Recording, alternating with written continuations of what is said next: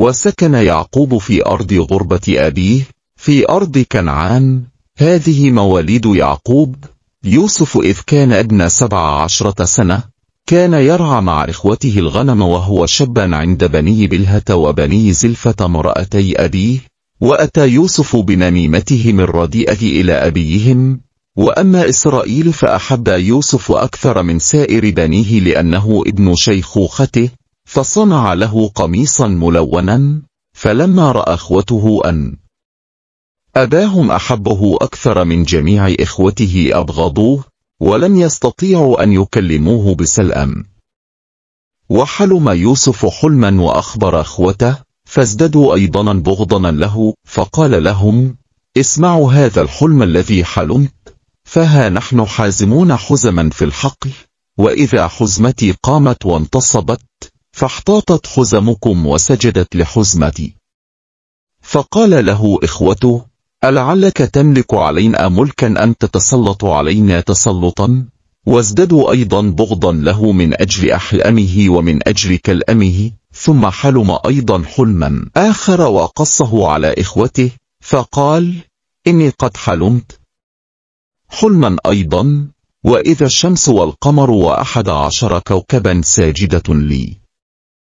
وقصه على أبيه وعلى إخوته فانتهره أبوه وقال له ما هذا الحلم الذي حلمت؟ هل نأتي أنا وأمك وإخوتك لنسجد لك إلى الأرض؟ فحسده إخوته وأما أبوه فحفظ الأمر ومضى إخوته ليرعوا الغنم أبيهم عند شاكين فقال إسرائيل ليوسف أليس إخوتك يرعون عند شاكين؟ تعال فأرسلك إليهم. فقال له ها أنا ذا. فقال له اذهب انظر سلأمة إخوتك وسلأمة الغنم ورد لي خبرا.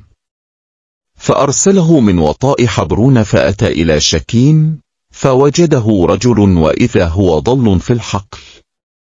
فسأله الرجل قائلا ماذا تطلب؟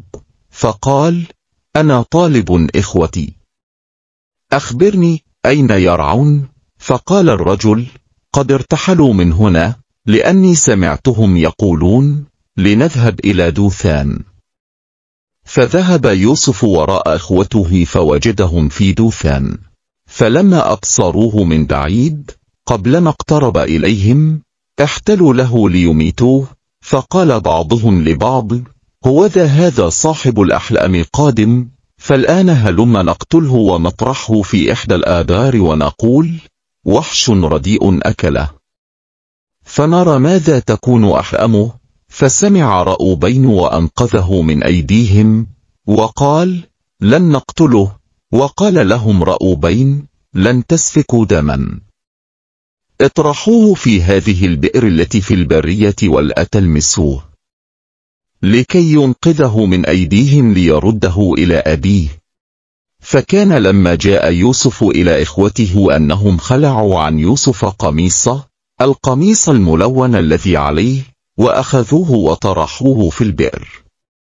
وأما البئر فكانت فارغة ليس فيها ماء ثم جلسوا ليأكلوا طعاما. فرفعوا عيونهم ونظروا وإذا قافلة إسماعيليين مقبلة من جلعاد وجمالهم حاملة كثيراء وبلسانا والأذنا ذاهلين لينزلوا بها إلى مصر.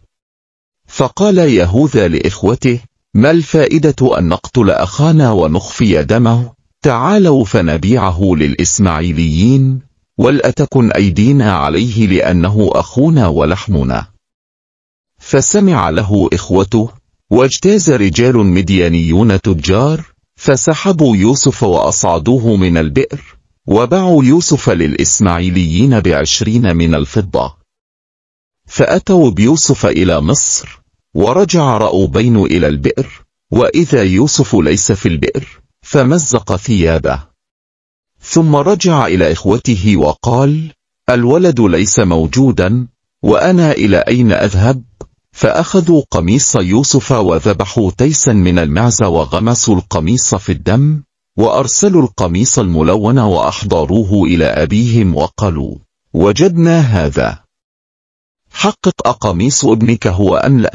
فتحققه وقال قميص ابني وحش رديء أكله افترس يوسف افتراسنا فمزق يعقوب ثيابه ووضع مسحنا على حقويه وناح على ابنه أيامنا كثيرة فقام جميع بنيه وجميع بناته ليعزوه فأبى أن يتعزى وقال إني أنزل إلى ابني نائحا إلى الهاوية. وبكى عليه أبوه وأما المديانيون فباعوه في مصر لفوطيفار خصي فرعون رئيس الشرط